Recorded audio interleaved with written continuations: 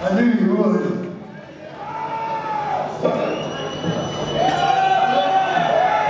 This is called going to Brazil.